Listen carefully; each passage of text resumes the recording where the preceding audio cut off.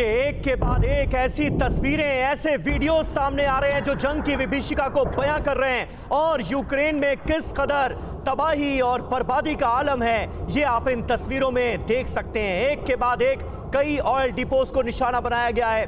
और इस वक्त जो तस्वीरें आप देख रहे हैं, मिसाइल अटैक के बाद इस ऑयल डिपो का, वासिल कीव के इस ऑयल डिपो का क्या हश्र हुआ है, ये आपके सामने है।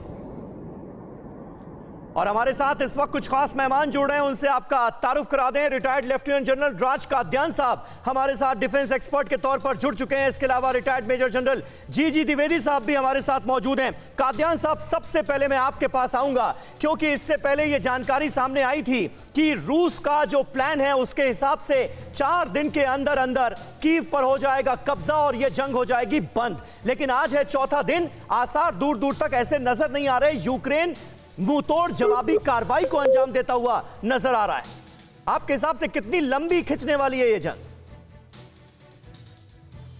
रूस के हमले को आज चौथा दिन शुरू हो रहा है। मेरी आवाज़ गूंज रही है ऑडियो में गड़बड़ है जी मैं ठीक आज चौथा दिन शुरू है। ज़ाहिर है कि रशिया के अटैक की प्रोग्रेस उस हिसाब से नहीं चल रही जैसा रशिया चाहता था। हम्म। इसकी दो तीन वजहें हैं। पहली वजह तो यह है कि यूक्रेन को बहुत सारे हथियार पश्चिमी देशों ने सप्लाई किए कोई कमी नहीं है।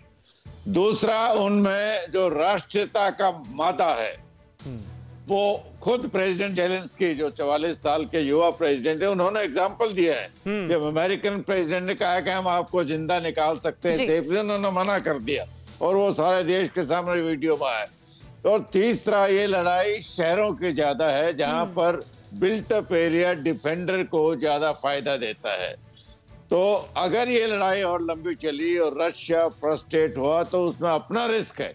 फिर रशियन अभी तक उस मिलिट्री टारगेट को बिल्कुल सर और आज युद्ध का चौथा दिन है। ये तो कह सकते हैं कि कम से कम प्रेसिडेंट जेलेंस्की टाइम बाई करने में कामयाब होते नज़र आ रहे हैं। हो सकता है कि आज भी जो रूस का मकसद है कि वो पूरी तरीके से की पर कब्जा कर ले उसमें वो कामयाब ना होने दे।